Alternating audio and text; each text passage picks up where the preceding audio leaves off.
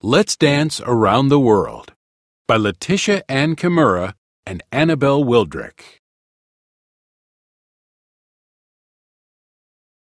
From glittering ballrooms in big cities to patches of dirt under a starry desert sky, people dance everywhere on our planet. They dance for different reasons, in different ways, to different rhythms. They dance when they are happy or sad, to call for rain, to celebrate a birth. Everywhere, people dance because they just can't help it.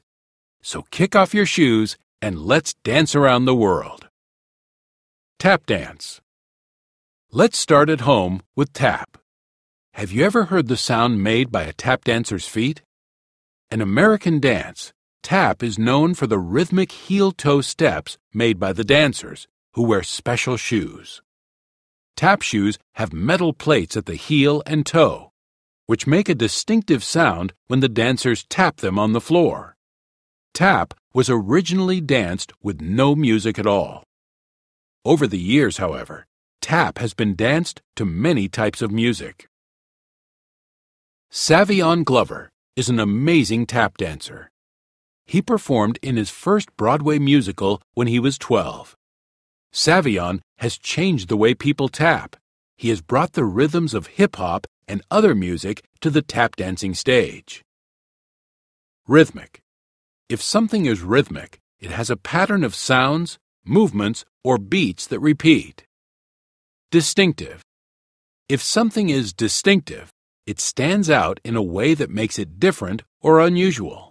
Breakdance. Speaking of hip hop, if you were to ask five people to tell you what hip hop is, you'd probably get five different answers. Hip hop is a way of life that includes the dance style known as breaking or breakdancing. In the 1970s, when rap music was new, hip hop and breaking were just getting started.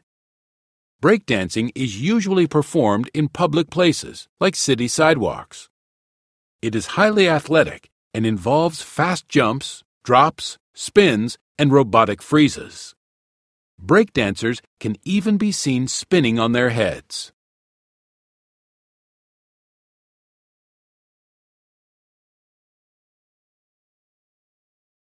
Tap and breakdancing are typically done by individuals performing for an audience. Folk dancing, on the other hand, is usually performed by people dancing for themselves. When they dance, most folk dancers wear special clothes, costumes that represent their culture. One of the best known folk dances in Italy is called the Tarantella. A legend about the dance says that people bitten by tarantula spiders danced fast and wildly to try to sweat the poison out of their bodies. Tarantella, Japanese folk dance. In Japan, folk dances are often performed at cultural festivals. Japanese folk dancers are known for their slow, graceful movements, dancing with bent knees and bodies low to the ground. They use objects such as umbrellas, swords, and fans to highlight their delicate movements. Traditionally a man's dance, the English Morris dance today is performed by both men and women. Dancers hit sticks together and wave handkerchiefs while they hold their bodies straight upright. Bells worn around the dancers' legs jingle, adding to the rhythm. Los Viejitos In Mexico, there are many popular folk dances. The dance called Los Viejitos, which means the little old men, is meant to help people stay young and active as they get older. Dancers wear masks and hold canes to make themselves look like old men. They start off slowly, then speed up, dancing with lots of energy. Highlight When you highlight something, you call attention to it.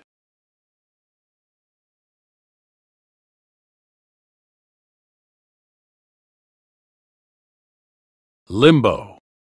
The limbo is a competitive dance that originally came from West Africa. The limbo dancer must bend back while dancing under a horizontal pole. If the dancer is successful in passing under the pole without touching it or falling over, the pole is lowered and the dancer tries again. The dancer who goes the lowest is the winner. Brazilian capoeira blends martial arts and dance. Capoeira dancers perform acrobatic movements like jumps, kicks, flips, handstands, and headstands as they move together in a fake battle. These are just a few of the hundreds of dances around the world. What kind of dancing do you do? Horizontal. If something is horizontal, it is level with the ground.